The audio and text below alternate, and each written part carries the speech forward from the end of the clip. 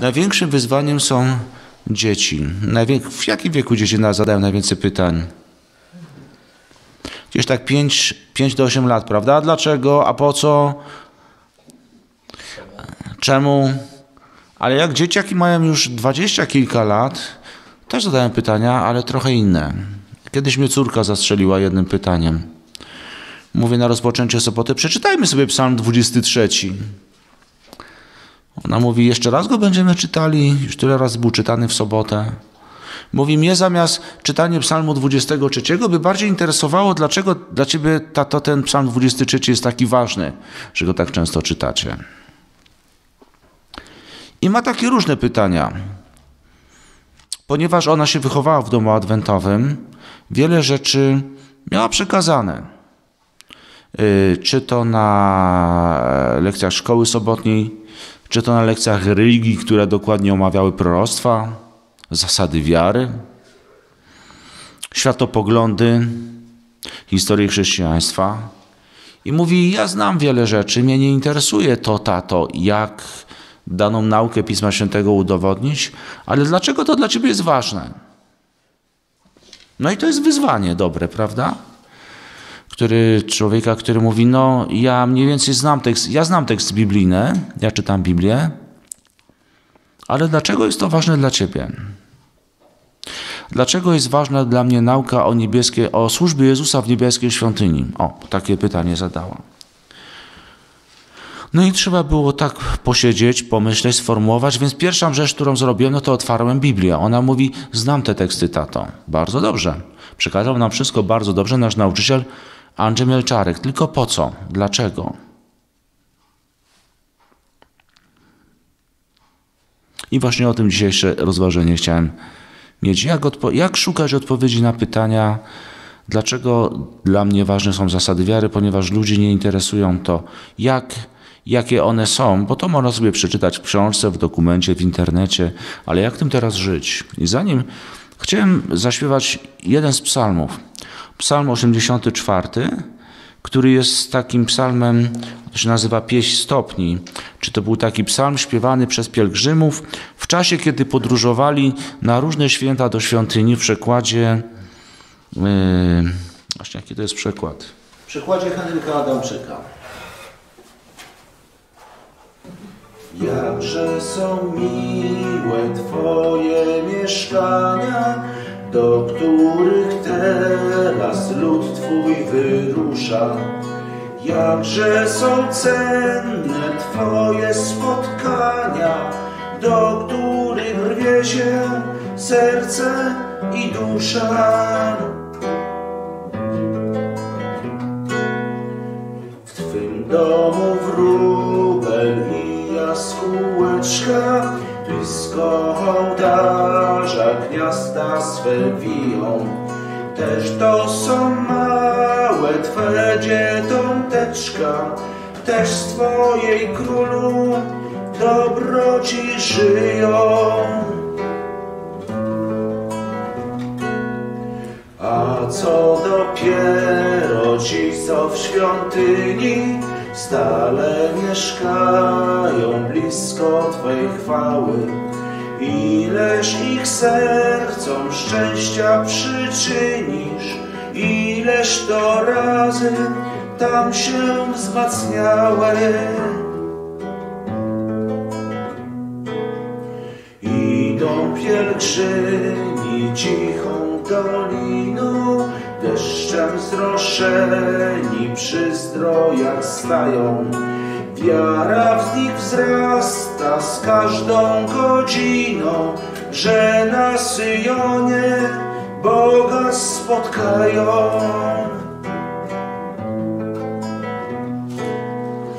A może ujrzą też pomazańca, Oto też modlą się do swej tarczy. Ciężko jest spędzić żywot wygnańca, musi mu obraz wspomnień wystarczyć. Lepszy jest jeden dzień Twoich sieniach, niż tysiąc innych w pałacach możnych. Jesteś nam słońcem, tarczą zbawienia, w dobroci wspierasz wszystkich pobożnych. I są szczęśliwi w łasce Twej żyją, w blasku Twej chwały sukcesy mają. Radości z tego nigdy nie kryją, zawsze Ci Boże Jachwę ufają. W Starym Testamencie podróżowanie do świątyni było bardzo radosnym doświadczeniem. To była pielgrzymka, często kilku dni. Podróżowano na początku y, w grupie rodzin, później, kiedy się szlaki, jakby to powiedzieć, przechodziły na coraz to bardziej główne, podróżowało się w grupie wielu rodzin i wielu ludzi. Była to radość dorosłych i dzieci, które od 12 roku właściwie do świątyni chodziły z rodzicami kilka razy w roku po to, żeby brać tam udział w świętach. Jak wygląda rzeczywistość dzisiaj? Nie ma świątyni jako murów, nie ma świątyni jako miejsca. List do Hebrajczyków, rozdział 8, zmienia perspektywę, moją perspektywę. Sedno zaś wywodu stanowi prawda takiego mamersa arcykapłana, który zasiadł po prawicy tronu majestatu w niebiosach jako sługa świątyni i prawdziwego przybytku zbudowanego przez Pana, a nie przez człowieka. Wiecie, to jest ciekawa nauka.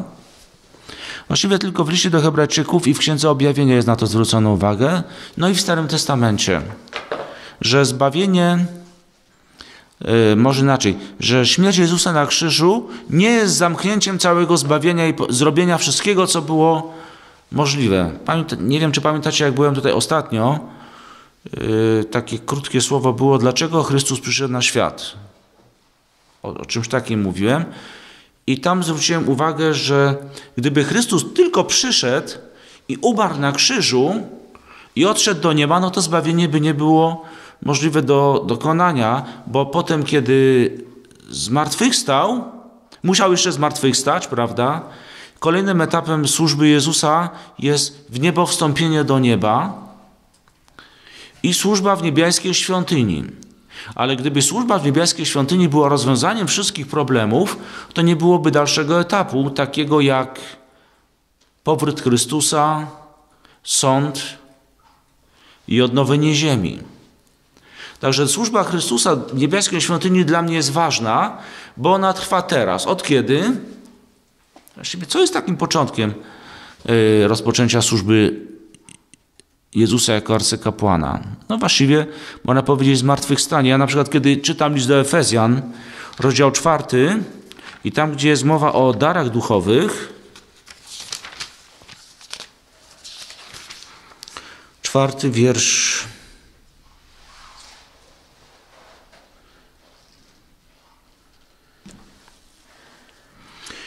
4,7 Każdemu zaś została dana łaska według daru, miary daru Chrystusowego. Dlatego mówi Pismo, wstąpiszy do góry, wziął do niewoli jeńców i rozdał ludziom dary. Słowo zaś wstąpił, cóż oznacza, jeśli nie to, że również wstąpił do niższych części ziemi. Ten tekst dla mnie mówi, że takim mm, zaakceptowaniem Jezusa w niebie było dla apostołów dowodem tego, kiedy dar Ducha Świętego został wylany. Kiedy, kiedy spełniła się ta obietnica dana przez Jezusa, to oni byli pewni, że po pierwsze jest to wypełnienie słów, które ich mistrz mówił, że kiedy pójdę, otrzymacie dar z nieba i że jego ofiara tam została zaakceptowana. I od tej, od tej pory Jezus Chrystus jako arcykapłan pełni służbę. Y, jest tam, do, miał, przyszedł tam z ofiarą, bo właściwie, żeby arcykapłan mógł pełnić służbę, musiał składać ofiary. Przyszedł tam z ofiarą własnej krwi.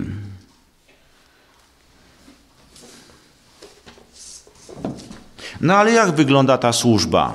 Jest tam, czytamy, oręduje. Chciałem przeczytać pewien dokument. Ten dokument jest z książki wierzyć tak jak Jezus, ale możecie go znaleźć w różnych dziełach adwentystycznych. Hmm. To jest y, nasza zasada wiary. Adwentyści dnia siódmego wierzą, że w niebie znajduje się świątynia. Prawdziwy przybytek, który zbudował Pan, a nie człowiek. W niej właśnie Chrystus usługuje dla nas, udostępniając wierzącym dobro swojej pojednawczej ofiary, złożonej ongi za wszystkich na krzyżu. Jezus został ustanowiony naszym wielkim arcykapłanem i zaczął swoją wstawienniczą służbę w chwili niebowstąpienia. Nie będę dalej kontynuował tego tematu, ale tak, tak brzmi zasada wiary, którą przyjął Kościół Adwentystów Dnia Siódmego. Jest w niebie świątynia, jest takie miejsce, w którym jest Bóg i w którym Jezus sprawuje swoją służbę. Ta służba jest yy, dla nas. Ale pytanie, czy Jezus musiał, jakie warunki musiał spełnić Jezus, żeby stać się arcykapłanem? Czy mógł tak zostać uczyniony arcykapłanem z marszu, bo był Bogiem i mógł robić, co mu się należało? Co chciał? List do Hebrajczyków pokazuje, że nie, nie mógł zostać arcykapłanem z marszu. Musiał spełnić pewne warunki i musiał przejść pewną próbę. List do Hebrajczyków.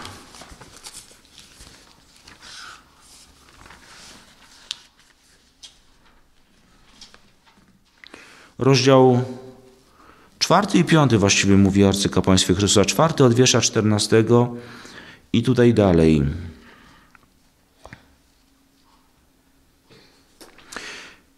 Wiersz 14. Mając więc arcykapłana wielkiego, który przeszedł przez niebiosa Jezusa, Syna Bożego, trwajmy mocno w wyznaniu naszej wiary. Nie mamy bowiem takiego arcykapłana, który by nie mógł współczuć naszym słabościom, lecz doświadczonego we wszystkim na nasze podobieństwo z wyjątkiem grzechu. Przybliżmy się więc ufnością do tronu łaski, abyśmy otrzymali miłosierdzie i znaleźli łaskę dla uzyskania pomocy w stosownej porze. Najbardziej mnie przeraża tutaj rozdział 5, wiersz 7. Czytamy 7 i 8. Jest mowa o pewnych testach, które Jezus przechodził. Siódmy wiersz.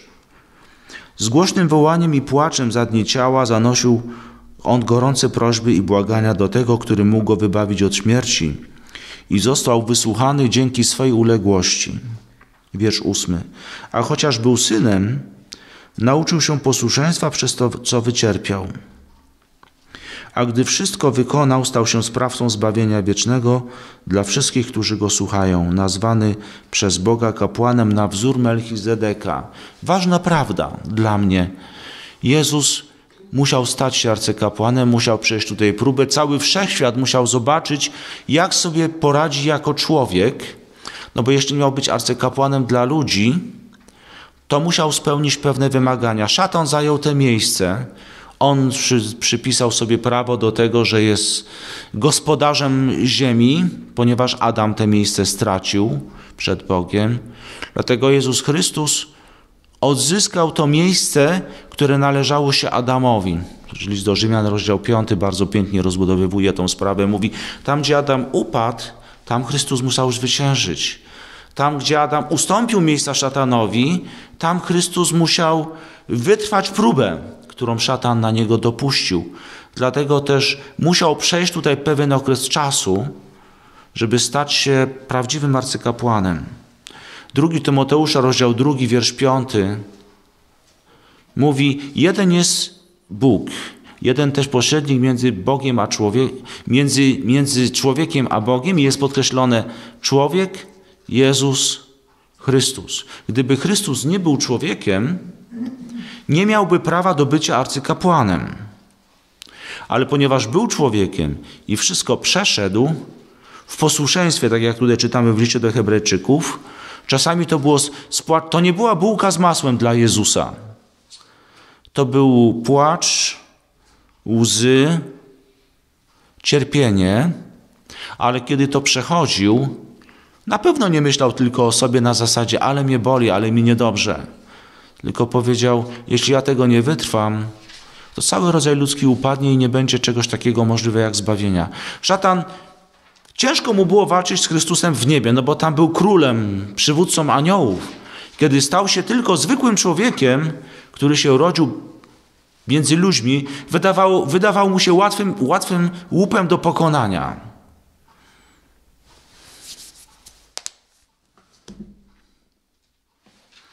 Natomiast kiedy y, zginął i wypełnił w ten sposób plan zbawienia, można powiedzieć, pokonał szatana. Można powiedzieć, że tak jakby ci, którzy wątpili w niebie i zastanawiali się, no nie wiemy, czy on jest dobry, czy zły, czy może był dobrym aniołem, oni już wtedy nie mieli wątpliwości. No ale cóż, jego argumenty były takie silne, że jak opisuje Księga Objawienia, trzecią część aniołów z nieba smok strącił. I można powiedzieć, że jedna trzecia stworzeń bożych zginęła. Rozdział 7, wiersz 25 listu do Hebrajczyków. Czytamy tak. Przeto i zbawiać na wieki może całkowicie tych, którzy przez Niego zbliżają się do Boga, bo zawsze żyje, aby się wstawiać za nimi. W jakim celu Jezus jest pośrednikiem? Albo po co mi pośrednik? Niektórzy za pośrednika uważają Marię czy świętych, bo łatwiej im się zwracać do zwykłych ludzi, niż iść bezpośrednio do Boga. Służba Jezusa, może tak bym powiedział, służba Jezusa w niebieskiej świątyni ma dwa cele, takie, które można oddzielić. Pierwszy to jest służba dla naszego przebaczenia. Możemy wyznać nasze grzechy, możemy powołać się na krew Chrystusa i powiedzieć: Panie Boże, zgrzeszyłem, przychodzę do Ciebie bez żadnego usprawiedliwienia, ale powołując się na krew Jezusa Chrystusa, yy, wierzę w przebaczenie moich grzechów. Bo wiecie, w świątyni w Starym Testamencie zawsze była składana ofiara, także grzesznik, kiedy zgrzeszył, mógł przyjść złożyć, a kiedy, a kiedy nie mógł akurat, to dla wszystkich była składana ofiara gdzieś koło dziewiątej, gdzieś koło piętnastej, jako ofiara poranna i wieczorna, i w tym czasie każdy, kto chciał wyznać grzechy, mógł się zwrócić swoim w stronę świata, gdzie była świątynia, i połączyć się w modlitwie, jak na przykład czynił Daniel nawet w Babilonie, kiedy nie było już świątyni. To jest pierwsza część y, służby Jezusa dla naszego y, przebaczenia. Ale też jest druga część służby Chrystusa, można powiedzieć, i cel służby Chrystusa. No, tutaj czytamy pierwsze, że wstawia się za nami.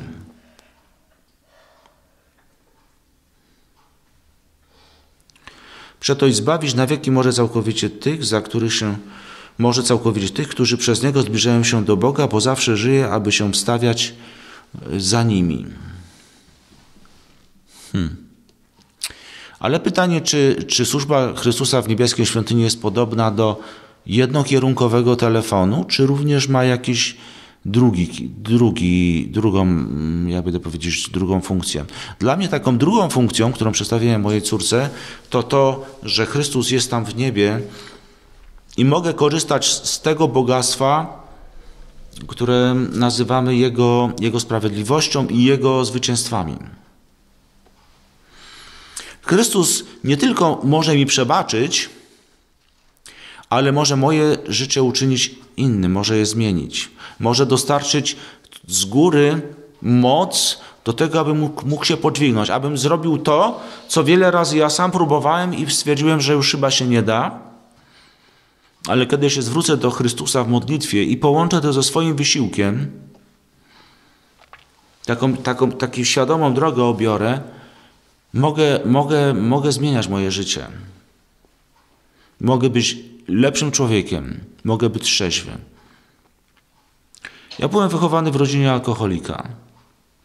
Kiedy moja mama mm, zaczęła czytać Biblię, zaczęła właściwie czytać ją po to, żeby pokazać swojemu bratu, że się myli. Ale zaczęło się zmieniać życie mojej mamy. Kiedyś się spotkała z innym chrześci z chrześcijanką i się pyta, a twój mąż pije? Ona mówi, no nie, nie pije. Och, mówi, ja bym tak bardzo chciała, żeby mój mąż przestał pić. Jakby on przestał pić, to ja bym nawet piła wodę w tych nogach, które on sobie moczy w misce ze szczęścia. I wydawało się to niemożliwe, bo tata miał taką pracę w transporcie, gdzie zawsze po wypłacie najpierw się szło do, do, do baru knajpy. Tata wracał często pijany, ale żeby w domu nie było awantury, to mamie kupywał, ma, do, ma, dla mamy przychodził z makowcem, my jako dzieci dostawaliśmy kaszankę, no i szedł spać. I wydawało się, że to jest nie do zmienienia się. Mama się modliła, modliła, modliła. W końcu mój tata zaczął się tak po części interesować Słowem Bożym, bo spodobało mu się, kiedy mama go zaprosiła do zboru kościoła adwentystów w Bielsku Białej. Tata mówi, a ja to już byłem. No a kiedy ty byłeś? Nic nie mówiłeś. A ja tutaj byłem 15 lat temu.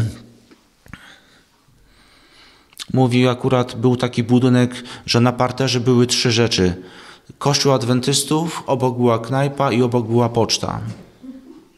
No my wyszedłem do knajpy, usłyszałem, że ładnie śpiewają, wszedłem, no i byłem u adwentystów 15 lat wcześniej. To dlaczego mi nic nie powiedziałeś? A, bo bałam się, że na mnie pokrzyczysz. Poza tym pijany wtedy byłem. Ale podobało mi się.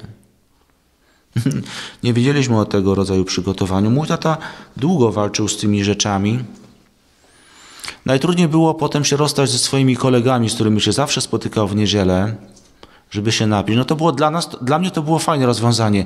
Szliśmy, szliśmy e, tata wychodził z nami z domu, on siedział tam przy, y, przy knajpie z kolegami, a my w ogródku się bawiliśmy. No było dobre rozwiązanie. Y, I nagle się to skończyło. Pamiętam, kiedy mój tata podjął decyzję chrztu, no, pojawiła, pojawił się problem. Nie, no mówi, no nie mogę się ochrzcić. Pojawiły się wypieki na skórze różyczka. A u osoby starszej to to jest bardzo skomplikowana choroba. Ale zdecydował się nie odciągać tego, jakoś, jakoś tak musiał się zaprzeć niektórych rzeczy naprzeciwko wszystkiemu, mówiąc, no trudno, mówi, wiem, że się tak słabiej czuję, ale z drugiej strony wierzę, że Pan Bóg chce mojego lepszego życia i że jak przyjmę chrzest, to wiele rzeczy stanie się wtedy dla mnie takich już yy, może nie tyle łatwiejszych, bo ale życie było trudniejsze, kiedy wytrzeźwiał trochę, kiedy zaczął być trzeźwy, ale jakby to powiedzieć, da się niektóre rzeczy przejść dzięki temu. Będzie trudniej, będzie powoli do przodu, ale da to siłę. Dla mojego taty bardzo ważną rzeczą było y, takie właśnie wiara w służbę Jezusa w niebieskim świątyni. Tego bardzo mocno y, trzymało w tym, że wiedział, że nie jest w tym sam, że Chrystus przechodził gorsze cierpienia i rzeczy i że to, co on przeżywa, to jest e, zdecydowanie mniejsze i łatwiejsze niż to, co przechodził Syn Boży, kiedy przypatrywał się służbie arcykapłana. I w ten sposób e, stał się człowiekiem takim, który to zwyciężył. Oczywiście moja rodzina e, z wioski od razu mówiła: I co wyście zrobili najlepszego? Staliście się heretykami. Lepiej byłoby, gdyby twój mąż pił, a był dalej normalnym chrześcijaninem. A tak zobacz, co z mężem zrobiłaś.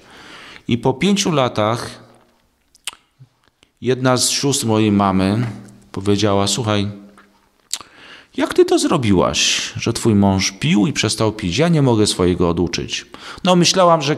Bo kiedy z nim brałam ślub, ja wiedziałem, że on był pijakiem, ale pomyślałam sobie, będzie więcej siedział w domu, bardziej go otoczę miłością, to on tych kolegów zostawi i, i będzie trzeźwy i nie wyszło. Jak ty to zrobiłaś ze swoim mężem, że on przestał pić? Mówi, masz dobrego męża, ja też bym tak chciała, Mówi, ale dla mnie i dla mojego męża już jest chyba trochę za późno. I faktycznie wujek umarł bardzo młodo. Ciocia też wcześniej odeszła, też mówił, kiedy tak odchodziła, mówiła, ja wiem, wy adwentyści, jakby to powiedzieć, dobrze żyjecie, poznałam was trochę lepiej. Mówi, ale ja już jestem za stara, ja już jestem bardzo schorowana, ja już nie będę nic zmieniała w swoim życiu. Odeszła wcześniej, zostawiając dwójkę dzieci. E, właściwie same, bo jej mąż odszedł o wiele wcześniej. Jak bardzo ważną dla, dla mnie rzeczą jest trzymanie się służby Jezusa w niebieskiej świątyni. Teraz. Ja wiem, że w tej chwili moje życie, można powiedzieć, jest wolne od grzechów, ale zawsze szatan podsuwa jakieś inne rzeczy, o których ja widzę, że są złe. Na przykład bardzo się denerwuję na moją żonę, która jest osobą o wysokiej wrażliwości na wiele rzeczy. To jest ciężko z nią żyć. I, ale wiem, że Pan Bóg mi dał ją na mojej drodze, nie po to, żeby była dla mnie mm, przeszkodą, ale żeby była taką okazją do, do rozwoju się, do zadbania o siebie, o swój wygląd, o to, jak się wysławiam, o to, jak wyglądam, o to, jak mówię, o to, jak wygląda w naszym domu. Bo to jest ważne. Ja nie wiem, czy ta odpowiedź mojej córki, yy, dla mojej córki na jej pytanie jest zadowalająca. Ona jest taką osobą, która była wychowana w domu adwentowym, która różne rzeczy doświadczyła w zborze i dobrych i złych, może te złe bardziej pamięta.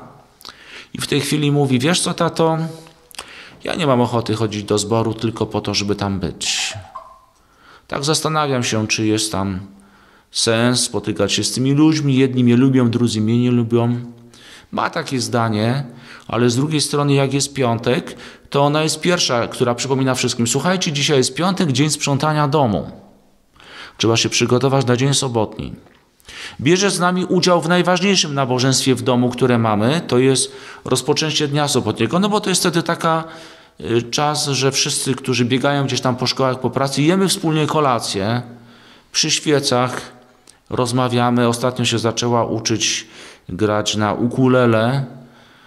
Ma 20, ile ma? 24 lata, ale widzimy, że ta, która ma 4 lata, ta nasza najmłodsza córka, ona jest chętna się do niej przyłączać i ona, one się wspólnie, jakby to powiedzieć, nakręcają.